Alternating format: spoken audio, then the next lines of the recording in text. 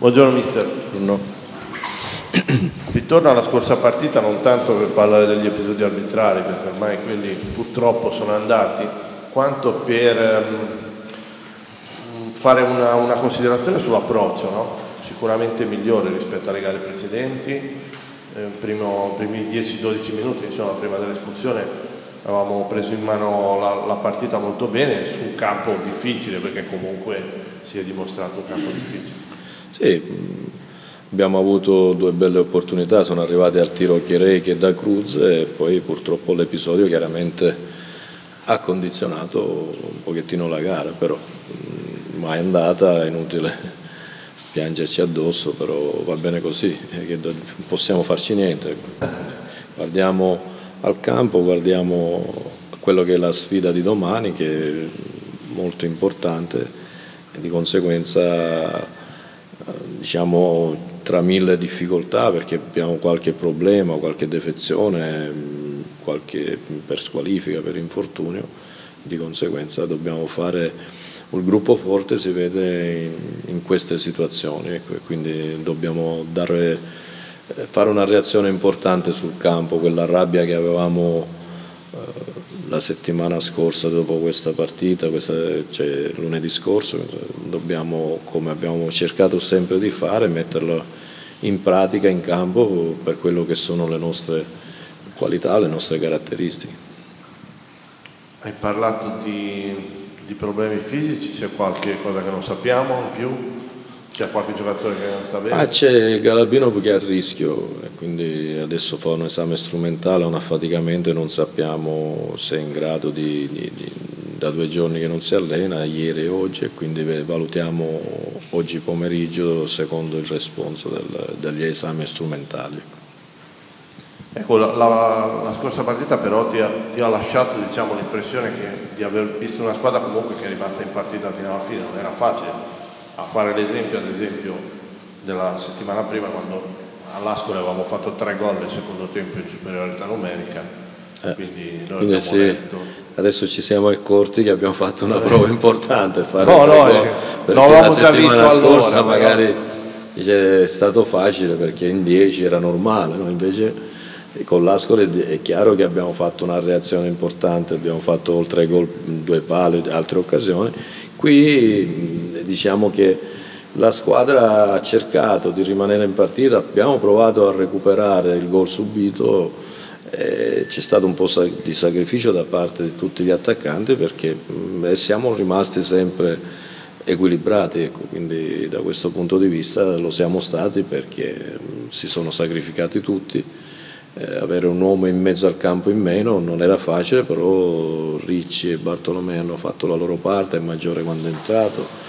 hanno fatto un buon lavoro di interdizione e anche di rilancio, per cui Ricci ha recuperato eh, e Bartolomeo hanno recuperato veramente tanti palloni e cercando poi di ripartire.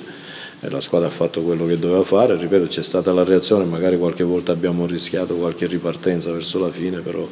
era inevitabile noi la voglia di andare a portare su tanti uomini, la voglia di rimettere in gioco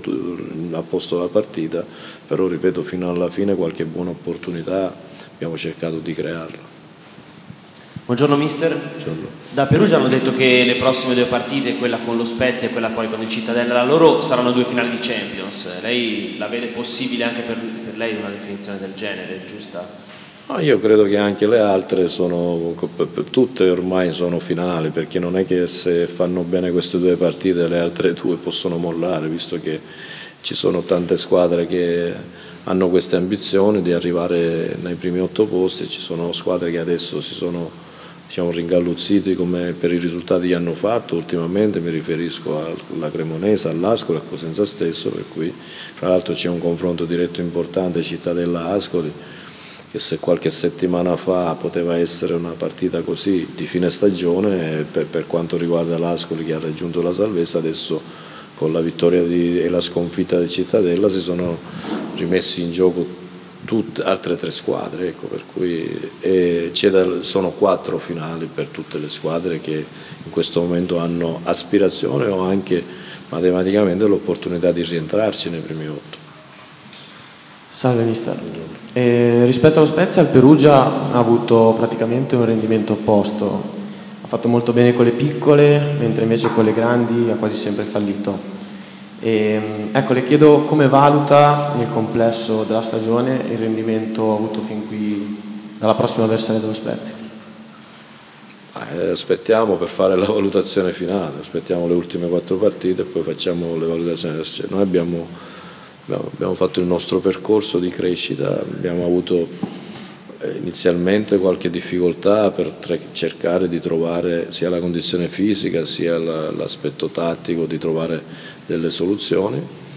poi siamo andati abbastanza bene, abbiamo avuto un calo periodo che sapete che hanno influito tante situazioni sia in campo sia fuori secondo me. E adesso siamo in ripresa perché ripeto le ultime cinque partite potevano essere almeno quattro vittorie ecco, perché col Foggia sappiamo com'è andata, l'ultima sappiamo com'è andata, magari qualche punticino in più meritavamo nell'ultimo periodo, ecco. per cui la squadra è in crescita, anche se non è riuscita come in precedenza di, di fare sempre 90 minuti o quantomeno avere sempre 70-80% di rendimento importante come gestione della gara.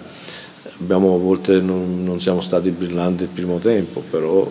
complessivamente il fatto che noi siamo abituati bene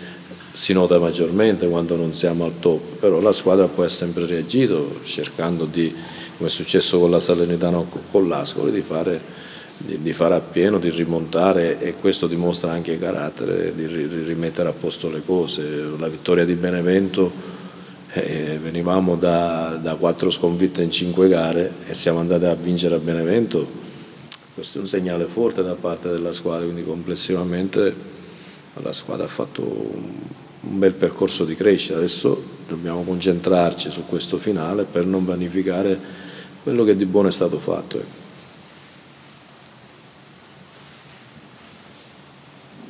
Mister, se riguarda indietro però a questo, al calo insomma, che, di, cui parlava nel momento di maggiore brillantezza, lo, dire, lo, imputa più a qualche problema fisico che ha avuto qualche giocatore fondamentale oppure a tutta la questione Livorno, visto che ormai è alle spalle, insomma. Eh, però chiaramente guardando la classifica e i risultati verrebbe da pensare che quello è stato dire, la spina sotto il piede di, di, di un atleta. Ho detto prima, l'ho risposto in pratica prima perché ho detto sono in quel frangente ci sono stati tanti fattori messi insieme, infatti interni ed esterni. Interni intendo dire che è chiaro che c'è stata qualche flessione, come, come in tante altre squadre, voglio dire, tranne le prime che hanno avuto il rendimento costante, le altre hanno avuto alti e bassi, no? E quindi c'è un po' di tutto, un po' tanto tempo fa dissi che magari quando vinci abbiamo iniziato certo, qualche problema è venuto fuori dopo una vittoria straordinaria a Cittadella sia come prestazione come risultato e non si è parlato di quella vittoria, cioè, voglio dire il calcio è la vittoria da entusiasmo all'ambiente, a tutto, è iniziato un, un, periodo che non si parlava di calcio, ecco, probabilmente a livello inconscio qualcosa ha potuto incidere, io dico in generale tanti fattori messi insieme hanno determinato qualche risultato, ma soprattutto qualche prestazione negativa in quel periodo, che è la cosa che i risultati a volte, per dire in quel periodo col Verona magari abbiamo fatto una buona gara, non meritavamo di perdere, per dire a Pescara meritavamo di perdere perché non abbiamo fatto il nostro calcio, col Padova meritavamo di perdere perché non abbiamo fatto in quel frangente, ci sono stati tanti fattori che hanno determinato un rendimento inferiore, però ripeto, rialzarsi in quella maniera che nelle ultime 5 ne abbiamo vinte 3 e le due che abbiamo perso abbiamo qualcosa da recriminare, questo è il dato positivo, perché i periodi negativi ce le hanno tutte. Come si aspetta lo stadio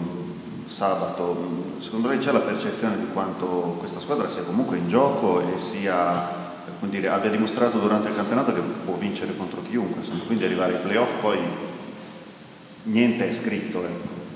Sì, mi aspetto, mi aspetto, che la gente ci dia una mano, spero che numericamente crescano, però A me da, diciamo, da elogiare la gente che ci sta vicino, che ci sostiene sempre, che sono sempre stati dalla nostra parte in maniera importante, eh, anche chi sì, so, come, come, abbiamo fatto noi i chilometri per andare a fare il nostro lavoro, gente per passione fa tutti questi chilometri per arrivare a Cosenza a vedere la partita. Ecco, questi, questi tifosi vanno premiati. Noi dispiace che poi succedono determinati episodi che ti danneggiano. Noi avevamo in mente di fare una partita di un certo tipo e l'approccio era stato dicevamo positivo abbiamo fatto una trasferta siamo stati la società ci mette nelle condizioni di, di, muoverci al meglio, siamo stati tre giorni in Calabria ecco, e poi perdere in quella maniera dispiace ancora di più. Eh, abbiamo fatto la domenica di Pasqua il traviaggio e Cosenza, la, la partita del giorno di Pasquetta, l'indomani ci siamo allenati, siamo arrivati a mezzanotte di martedì perché cerchiamo di mettere nelle condizioni tutti di lavorare per il meglio e poi i sacrifici magari non sono stati ripagati non solo per colpa nostra, però ripeto, la gente eh, sa che noi stiamo dando il massimo e spero che vengano l'unico handicap, eh, diciamo tra virgolette, che mi, mi, piacerebbe vederne di più gente allo stadio. Ecco, quelli che ci sono danno e ci incitano fino alla fine. Mi auguro che, che, che cominciano a crescere anche come numero, ecco, questo è l'augurio di tutti, dipende anche da noi perché se facciamo qualche, qualche altro risultato magari per il finale eh, si riempirà, ecco, l'augurio è quello perché tutti noi eh, cerchiamo di fare il nostro lavoro per, dare, per cercare di trascinare l'entus l'entusiasmo che è importante. Ecco.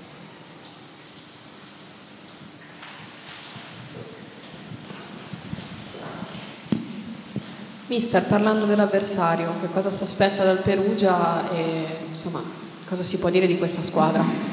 È una squadra che gioca bene a calcio, una squadra organizzata che ha tantissima qualità davanti. Hanno quattro giocatori d'attacco sempre, oltre ai due centrocampisti che organizzano il gioco, per cui eh, bisogna stare attento perché sanno ripartire bene, sanno giocare bene. C'è poco da dire sulla qualità di gioco e sull'organizzazione che è riuscita a dare Nesta. Quindi ci aspettiamo un avversario, un avversario tosto, ecco, una, che ha un'idea di gioco, quindi dobbiamo essere molto bravi nelle due fasi, ma anche quando noi facciamo gioco di curare bene le coperture preventive perché hanno, ripeto, le qualità che quando ripartono e hanno spazi diventano devastanti. Abbiamo sempre parlato di un centrocampo numericamente no? molto, molto, vasto a livello di, di, di numeri di giocatori a disposizione, te ne mancherà però due diciamo titolari, tra virgolette, se possiamo parlare di titolari in questa squadra contemporaneamente. Ovviamente ci sono le riserve, però sei preoccupato oppure sei tranquillo? No, no, l'ho detto prima, il gruppo forte si vede quando ci sono alcune defezioni perché io non posso considerare alternative, non riserve, non mi piace questa parola, eh, cambia poco, però ripeto, eh, Maggiore, Crimi, De Francesco sono ragazzi che, che, quando sono stati chiamati hanno dato il loro apporto. Probabilmente chi ha giocato meno potrebbe mancare di intensità per 90 minuti, però chi gioca dall'inizio dove arriva, arriva, poi subentrerà qualche altro, insomma non è, non è questo il problema. Grazie. A posto. Mister, una considerazione, giusto una curiosità. Eh, in questo finale di campionato volevo chiederle se, come sta vedendo anche i giovani che spesso sono aggregati alla prima squadra, che magari arrivano dal settore giovanile, non so, magari ci sarà spazio anche per loro nelle, nelle partite conclusive. Mi chiedo come li sta vedendo. Secondo lei, rispondo con un'altra domanda, in un momento che ci giochiamo la CSI Playoff è no, possibile infatti, inserire giovani infatti la, prima in domanda era, no, infatti la prima domanda era come li sta vedendo e anche in... ma a prescindere di come li sto vedendo è normale che non possono in, questo, in questa fase se eravamo né carne né pesce tra virgolette magari qualcuno poteva avere più spazio ma in questo momento eh, caricare di responsabilità eccessiva ragazzi che ancora non hanno mai debuttato in B mi sembra eccessivo ecco. quindi diamo il tempo di crescita perché ci sono giovani come Deramo, come Figoli, come Moraichioli, che sono quelli che si, si allenano spesso con noi, hanno Suleman, insomma sono ragazzi che stanno crescendo perché allenandosi con quelli più grandi migliorano anche loro a livello di intensità, di velocità di testa e tutto, quindi la fase di crescita c'è sempre perché ripeto si allenano con ragazzi che sono più maturi, hanno qualità, fisicità e quindi l'aiuto a crescere c'è, però diciamo questi sono ragazzi di prospettiva. Era solo questa la curiosità.